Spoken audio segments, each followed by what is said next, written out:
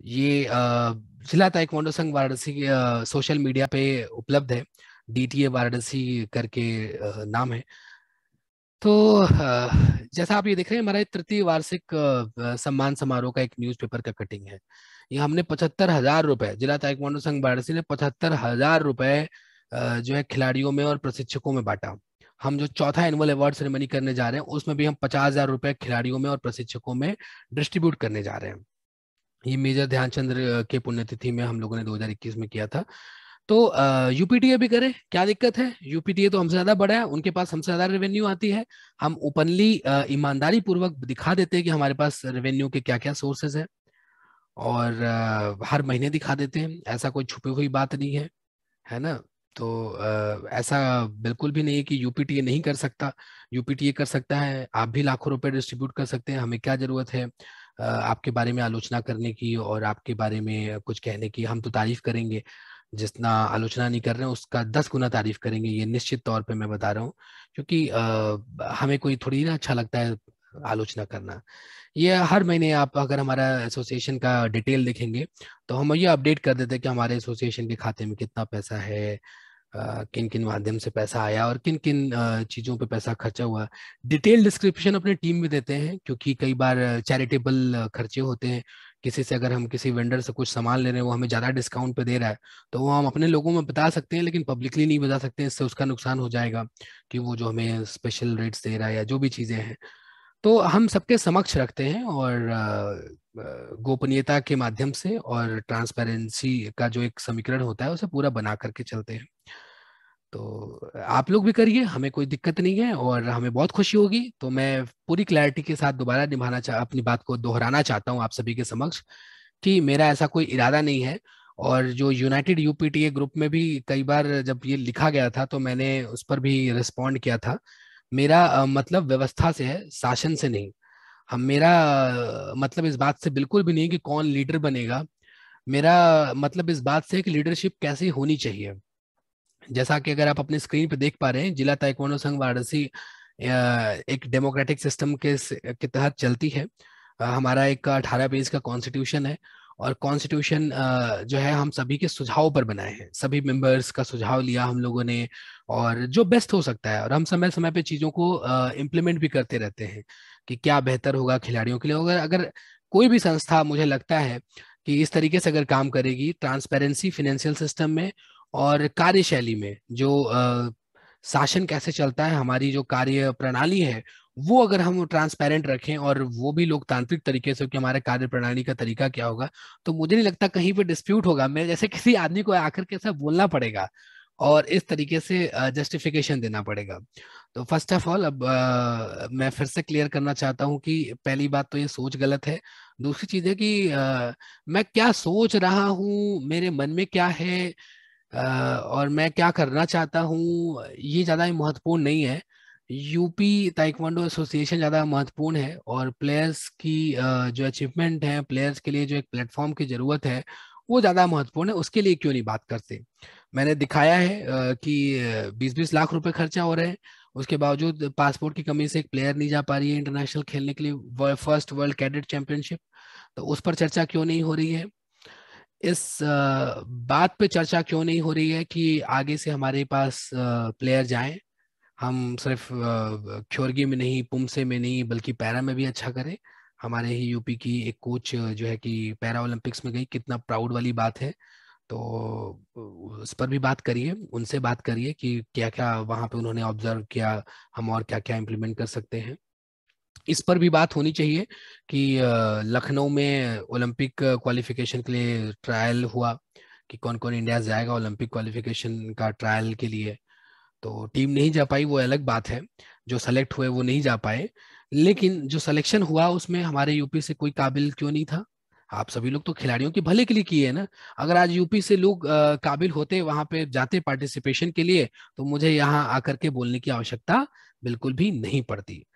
बहरहाल मैंने साफ़ स्पष्टता से बता दिया कि मैं क्या चाहता हूँ, और मैंने साफ़ पूछा। इस पर ज़्यादा चर्चा होनी चाहिए। कि ये ऐसो ऑर्गेनाइजेशन जो है, यूपी से अलग कैसे है? और मैं बात अब इंडिया ताइक्वांडो पे आता हूँ कि लोगों ने का ये भी आरोप था कि आपकी कुछ साठ गांठ है इंडिया ताइक्वांडो से कि आप इंडिया ताइक्वांडो के यूपी के सेक्रेटरी बनने वाले हैं। तो मैं बताना चाहता हूँ कि मेरी बातचीत सभी से रहती है। मैं किसी व्यक्ति का, व्यक्तिगत दुश्मन नहीं हूँ। मुझे जो सिस्टम में जो खराब लगता है तो मैं उस खराब को खराब कहता हूँ और सही को सही कहता हूँ, गलत को गलत कहता हूँ।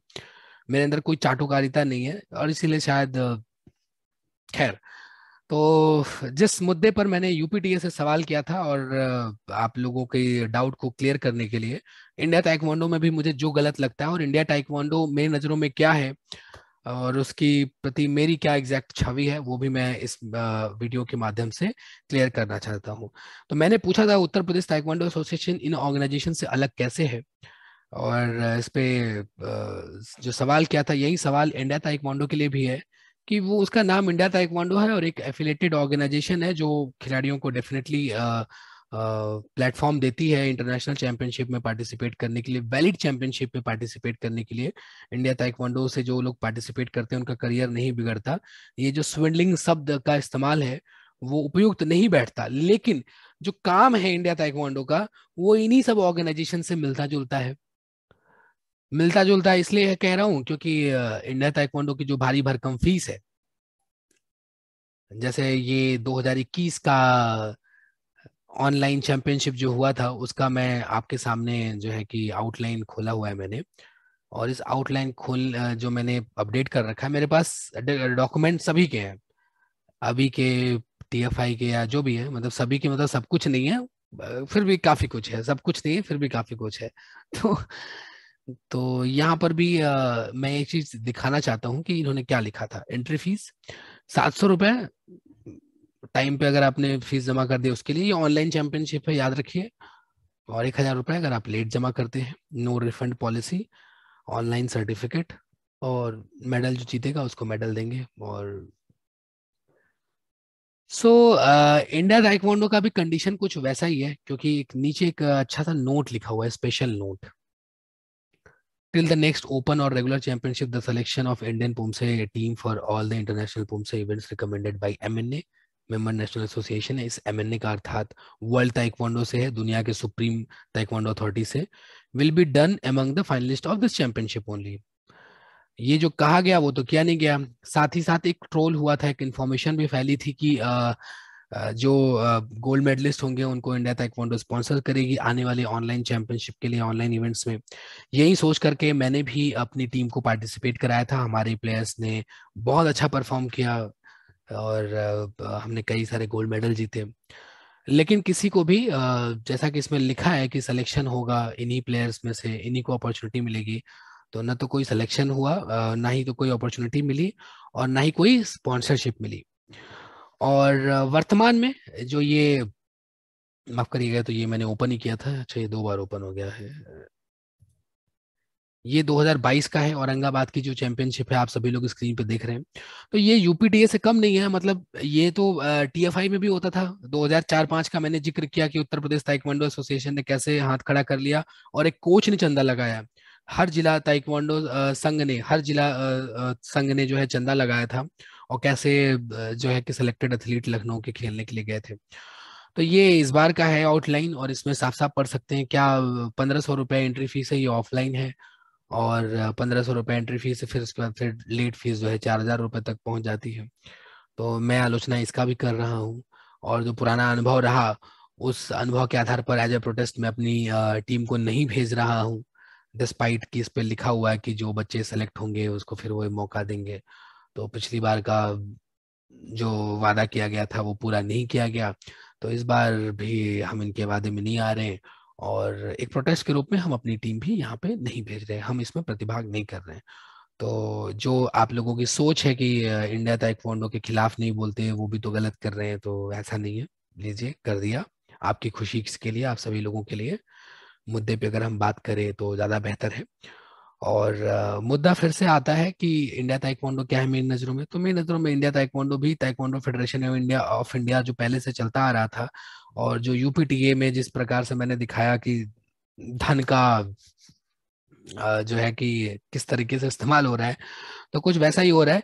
ऑनलाइन रेफरी कोर्स कराया गया था इंडिया ताइक्वांडो का ये पता नहीं है हुआ नहीं हुआ मुझे एग्जैक्टली आइडिया नहीं है देखा था मैंने और रिकॉर्ड रख लिया था अपने पास। तो ये इसमें भी देख सकते हैं ऑनलाइन रेफरी कोर्स की क्या फ़ीस है। तो मेरी नज़रों में ये सब चीज़ें गलत है। पेंडेमिक टाइम में ऑनलाइन रेफरी कोर्स ढाई हज़ार रुपया, फिर एक रेफरी को अगर मैं, मेरी अगर समझ सही है तो ये है कि हर साल पाँच सौ रुपया उसे देना पड़ेगा अपना कार्ड रिन्यूअल के लिए, है ना सिस्टम रिन्यूअल के लिए। और जो एक बार ऑलरेडी राष्ट्रीय रेफरी है, उसको दोबारा से रिफ्रेशर कोर्स करता है तो उसको दो हज़ार रुपये देने पड़ेंगे। तो ये सारी चीज़ें उतनी गलत है जितनी गलत यूपीटीए की चीज़ें थी जिसको मैंने ऑलरेडी मेंशन कर रखा है। तो न तो मैं कोई बायस्ड हूँ और ना ही मेरी कोई बहुत महत्वाकांक्षाएँ हैं। मेरी चीज़ें बहुत ही स्पष्ट है कि सत्ता और शासन से पहले जो है कि सुशासन और व्यवस्था की बात करिए, कौन लीडर है वो इम्पोर्टेंट नहीं है। किस प्रकार का लीडरशिप होना चाहिए और किस प्रकार की व्यवस्था होनी चाहिए, ये ज़्यादा इम्पोर्टेंट है और इस पर ज़्यादा चर्चा होनी चाहिए। और एक लोकतांत्रिक तरीके से, एक संवैधानिक तरीके से हमारे पास एक सिस्टम होना चाहिए, जिसमें सारा रूल्स एंड रेगुलेशन अपडेट होना चाहिए और वो सिस्टम किसी एक व्यक्ति द्वारा नहीं, सभी के जो है कि सहयोग, सभी के समर्थन मेजोरिटी जो होनी चाहिए, मेजोरिटी जो लोग हैं, जो सिस्टम में है, उनके समर्थन से बनना चाहिए। तो ये मेरी नज़रों में इंडिया ताइक्वांडो है। अब, इंडिया ताइक्वांडो को मैं क्या समझता हूँ तो वो भी मैं आप लोगों को दिखा देता हूँ कि ये पंचतंत्र की कहानी थी। पंचतंत्र हम सबने बचपन में पढ़ी है, बड़ी मतलब फेवरेट बुक्स है सभी को कहानियाँ अच्छी लगती हैं। तो चालाक बंदर की एक कहानी होती है कि एक बंदर किस प्रकार से जो है कि रोटियों का बंटवारा करते हुए, दो बिल्ली की रोटियों का बंटवारा करते हुए सारी रोटी हजम कर जाता है। ये कहानी सबने पढ़ी होगी बचपन में और कुछ यही कहानी है इंडिया ताइक्वांडो की, मेरी नज़रों में। ताइक्वांडो फेडरेशन ऑफ़ इंडिया को लेकर के कि दो ताइक्वांडो फेडरेशन ऑफ़ विवाद ताइक्वांडो फेडरेशन ऑफ़ इंडिया का विवाद जो है कि ताइक्वांडो इंडिया ने कुछ इसी प्रकार से सुलझाया है, जिस प्रकार से आप इस पिक्चर को देख पा रहे हैं कि कभी इधर, कभी उधर और अंत में सारी रोटी गायब। जब इंडिया ताइक्वांडो ने देखा कि ताइक्वांडो में क्या बेहतर से बेहतर कमाई करी जा सकती है तो उन्होंने ये सब कर लिया।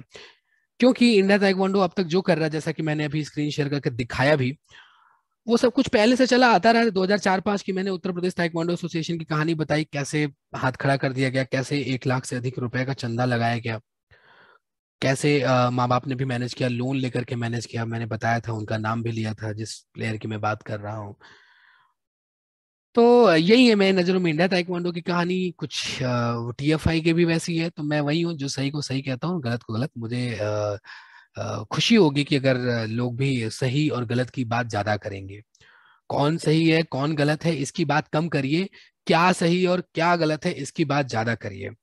और ये जो मैं गलत गलत कह रहा हूँ ये सिर्फ़ मैं नहीं कह रहा हूँ, सभी लोग जो भी समझदार लोग हैं, वो कहते हैं, मैंने आप सभी के सामने ये दिखाया, ये चिट्ठी जो खुद इंडिया, इंडियन ओलंपिक एसोसिएशन के ज्वाइंट सेक्रेटरी ने लिखा है और इस ऑर्गेनाइजेशन के बारे में लिखा है कि सेल्फ फंडेड क्या करती है।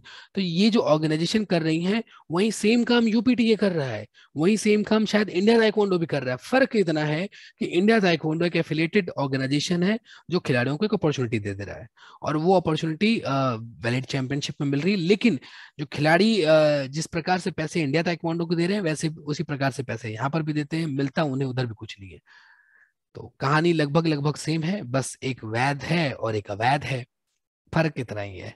तो सभी लोग समझदार हैं और लोग तो बिहाइंड द सीन की चर्चा कर लेते हैं। जिस चीज़ की मैंने अपेक्षा नहीं करी उसकी भी चर्चा हो गई। मुझे कुछ पाँच छह लोगों के कॉल आए और इन्हीं इस बात पे ज़्यादा चर्चा थी। तो मैं चाहता हूँ ये चर्चा ना हो, इस बात की चर्चा ज़्यादा हो कि इंडिया ताइक्वांडो या कोई भी ऑर्गेनाइजेशन, सही क्या है और गलत क्या है, इसकी चर्चा ज़्यादा होनी चाहिए और सभी लोगों को सही को सही बोलना चाहिए और जो गलत है, उसे गलत कहना चाहिए। और एक खास चीज़ मैं जो है कि आज दिखाना चाहता हूँ कि ये जो मैं गलत गलत कह रहा हूँ, ये मैं ही गलत नहीं कह रहा हूँ, ये इंडियन ओलंपिक एसोसिएशन के जो है कि अध्यक्ष नरेंद्र बत्रा जी भी कर रहे हैं। 2019 के लास्ट में, आई थिंक अक्टूबर 2019 में मेरी उनसे एक मुलाकात होती है। और उस मुलाकात के दौरान मैंने उनसे कुछ प्रश्न किए थे और प्रश्न ये था कि हमारे ताइक्वांडो का भविष्य कब ठीक हो सकता है या हमारा ताइक्वांडो ठीक कब हो सकता है? तो उस पर उन्होंने कुछ जवाब दिया था और उनके मन में क्या छवि है? एक मिनट का एक वीडियो क्लिप है जो मैं आप सभी के समक्ष शेयर करना चाहता हूँ और उम्मीद है कि आप लोग इसे ध्यान से देखेंगे। Okay I think just a second ये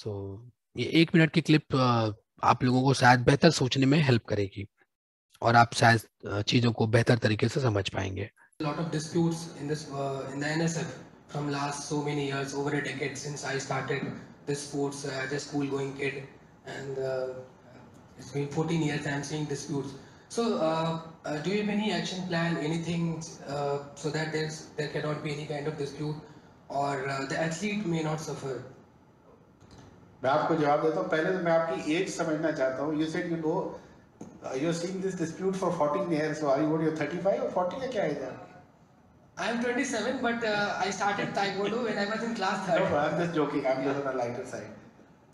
Uh, taekwondo ka, I know there is a dispute and there is an ad hoc body that has been formed to conduct the election. We are aware of all the disputes. Like I said, I am sorting out all the governance issues. ये जो belt belt बांटने का और पैसे लेने का system है ये सब बंद हो जाएगा ट्रस्ट में आता है ये कोई चलने नहीं दूँगा मैं किसी को जो दिखाना था I not spare that that's what I am trying to sort out आपके यहाँ नौ कलर की बेल्ट बढ़ती है और हर बेल्ट का रेट है वो सब बंद हो जाएगा. Trust me on that thank you so so so, uh, आप लोगों ने देखा कि कैसे बत्रा साहब कह रहे थे कि आप लोगों के यहाँ नौ कलर की बेल्ट है uh, सभी का रेट फिक्स है और मैं ये चलने नहीं दूँगा।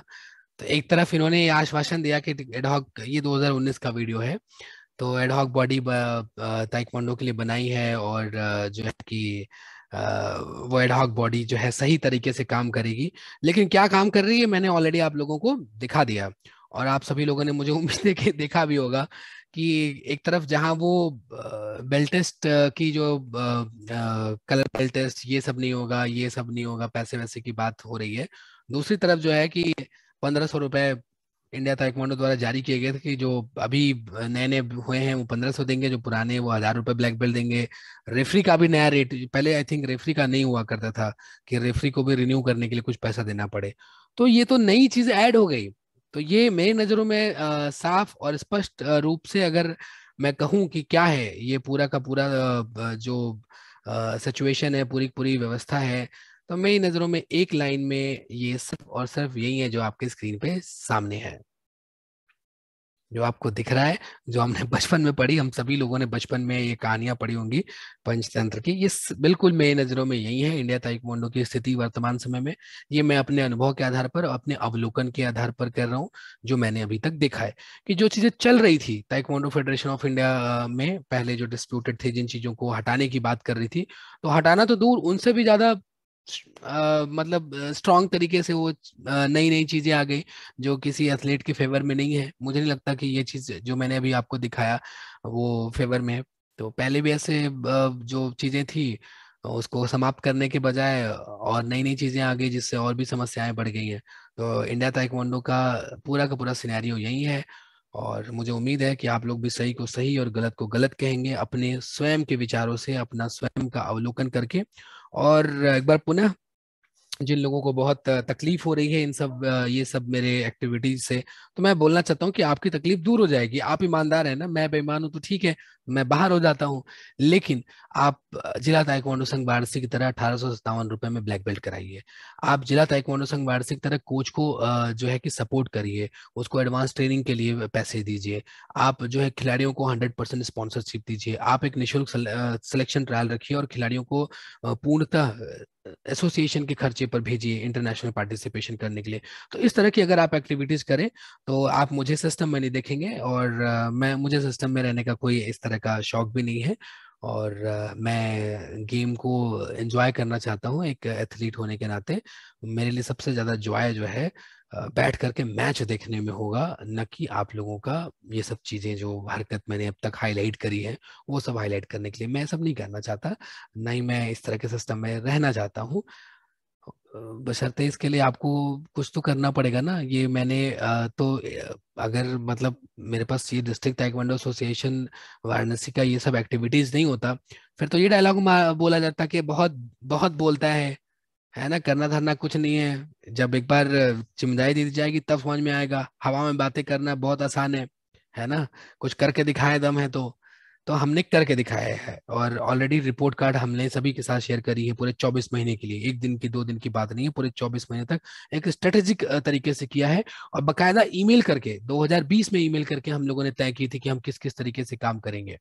फिर 21 में भी ईमेल किया कि हमारा पूरा एक कैलेंडर किस तरीके से होगा, क्या हमारी पूरे साल भर की स्ट्रेटेजी है। तो मैंने, मेरे पास तो गलत ही सही रोड मैप था, आपके पास क्या रोड मैप है?